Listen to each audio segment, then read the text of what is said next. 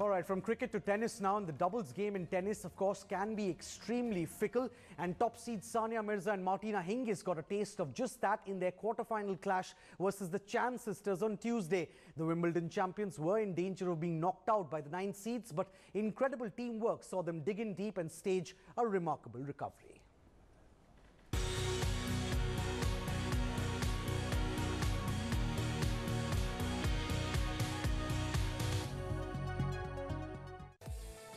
The top seeds Sania Mirza and Martina Hingis seen here in the near court were almost pummeled into submission by the pair from Chinese Taipei as the nine seeds took a 5-love lead in the first set.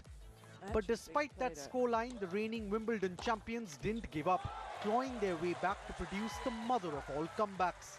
It's these big forehands from Sania Mirza that set something up.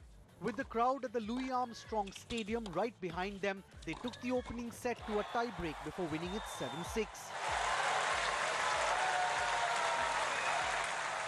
Sania kept me alive in the first set. Everything was happening so fast. This is why this is a team, you know. I mean, when uh, when one person's not playing well, the other one has to kind of step up, and it, it's happened in the past and vice versa. So, and then you know it comes together. At 5-0, all I said was, um, let's just get two games and try and uh, you know get some rhythm for the second set. And then before we knew it, we were 6-5.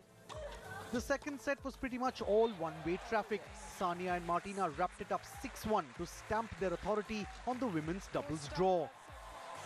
The Sania Martina combination, in fact, has been almost unstoppable on the WTA Tour since they paired up this spring. In six months, the two have already won WTA titles at Indian Wells, Miami, and Charleston. They have also tasted Grand Slam success, winning the Wimbledon doubles title this year.